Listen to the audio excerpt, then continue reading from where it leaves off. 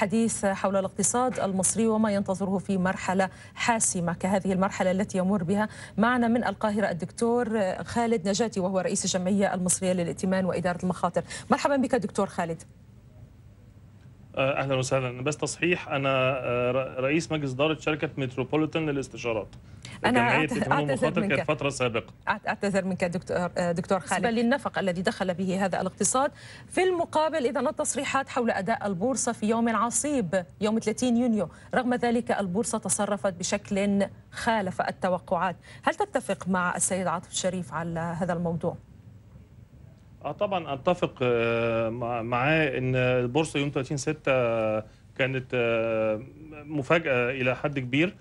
ولكن هل أعتقد إن البورصة ستتماسك خلال الفترة القادمة لأن المؤشرات كلها إيجابية. لا مؤشرات الشارع كلها إيجابية مؤشرات المستثمرين كلها إيجابية ولكن يبقى نقطة واحدة هامة جدا وهو أنه المستثمرين بيبعدوا عن البورصة في حالة عدم الثبات السياسي والأمني اللي بتمر بيها البلد في الوقت الحالي ولكن أعتقد إن يعني هذه الفترة لن تطول وإذا حصل إخفاق في البورصة خلال الأيام القليلة القادمة أعتقد إنه بعدها مباشرة هترتفع المؤشرات بصورة إيجابية بإذن الله. نعم، طيب يعني حتى من ضمن ما ذكره الضيوف في التقرير فيما يتعلق بالاستثمارات التي دخلت إلى السوق إلى حد ما كانت استثمارات على شكل ودائع هل برأيك يعني ما مر من عام على ال ال الأداء الاقتصادي الحكومي كان كان فاشلا ولم يستطع أن يقدم تبريرا مقنعا للمستثمرين ربما لأن يضخوا مزيد من الأموال؟ طبعا اتفق بالتأكيد لأن يعني ما حدش يقول إن ال 100 يوم الأولى كان أي رئيس يجي في مصر يقدر يعمل يغير المؤشرات من سلبيه لايجابيه في 100 يوم. دي أحلام. ولكن ما حدش حاسب الرئاسة على ال 100 يوم الأولى. ولكن في بعد مرور سنة وعام كامل حتى الوعود اللي توعد بها الشعب إنها هتتحقق في أول 100 يوم ما اتحققتش بعد عام كامل. فكان لابد طبعا إن الشعب المصري هينزل ويقول رأيه في الشارع لأن الاستثمارات اللي دخلت حضرتك يا فندم كلها ودائع من دول أجنبية قابلة للاسترداد وبتحط عبء على الاجيال القادمة. فالنهارده الاستثمار لازم ينبع من الداخل وعشان أي استثمارات تنبع من الداخل يجب حل المشاكل الداخلية وأهمها الثبات السياسي والأمني. ما ينفعش كل شوية نغير حكومة نغير وزراء ما ينفعش أجيب وزراء طب توجد خطة اقتصادية يعني دكتور خالد يعني من الصعب فعلا إذا مع هذه التغيرات المتواصلة بالنسبة للحكومات المتعاقبة أليس من الأفضل يعني ألم تكن توجد أي خطة اقتصادية على الأقل يعني في خطط تستمر؟ يقولون هناك خطط مثلا خمسية. هل نسفت كل الخطط السابقة وبدأنا بخطط يعني مشوشة حتى؟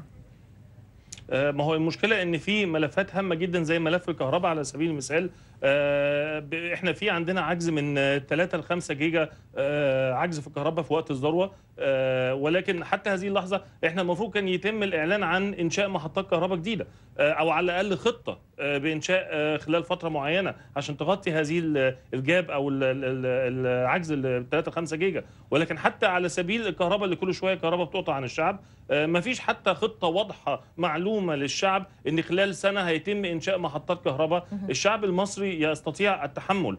الشعب المصري بيتحمل المشاكل وبيعيش في ممر بمشاكل أصعب من كده بكثير. ولكن يكون في خطة واضحة المشكلة إن ما فيش خطة واضحة الشعب قدامه يقدر يحكم عليها. وبعد سنة المشاكل زي ما هي وبتسوء. نعم. طيب ماذا لنفرض خلينا نشوف السيناريو. فيما يتعلق إذا ما تنحى الرئيس وهناك حكومة جديدة، ما الذي يمكن أن أن نراه يعني بداية؟ هل برأيك يعني هناك مطالبة أو في خطة معينة بالنسبة للناس أو بالنسبة للقادة الذين يقودون هذا التحرك، هل هناك خطة اقتصادية سوف تلملم الأوضاع في في حال تنحى الرئيس؟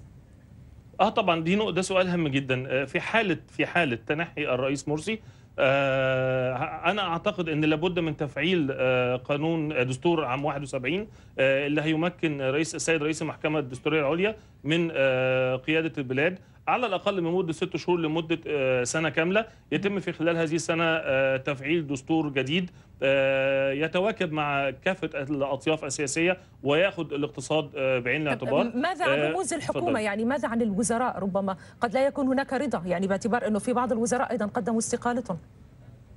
والله هو أنا أنا أختلف إن لا إحنا ضد التعميم. في سادة وزراء آه ليهم دور والشعب حاسس ليهم دور. واحد زي وزير الاقتصاد المهندس حاتم صالح آه، قايم بدور. أعتقد إن الكثير آه، ما بيعترضش على أدائه. الأستاذ باسم عودة في بعض في احيان كثيره أنا أتعجب من من واحد زي ال- الأستاذ أسامة صالح وزير الاستثمار اللي كان رئيس الهيئة العامة للاستثمار ويطيحوا بيه ويجيبوا وزير استثمار جديد في وقت حالك مصر محتاجه فيها ثبات في الناحية الاستثمارية.